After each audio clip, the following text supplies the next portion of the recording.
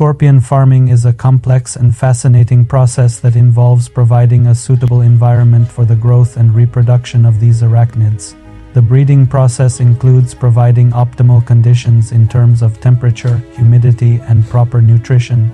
Specialized enclosures and techniques are used to create the ideal environment for scorpions. Among the key benefits of scorpion venom is its therapeutic and medicinal properties.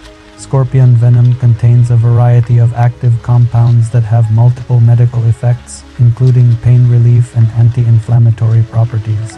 Scorpion venom has been used in traditional medicine for several centuries. To treat a variety of health conditions, such as rheumatism and joint pain, in addition to the medical benefits, scorpion farming can play a role in promoting the local economy. This activity may provide new employment opportunities and contribute to the development of the local healthcare industry.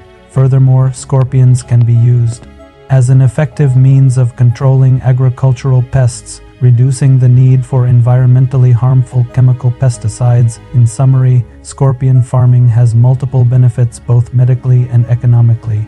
By developing this sector and responsibly harnessing the potential benefits of scorpion venom, significant gains can be achieved.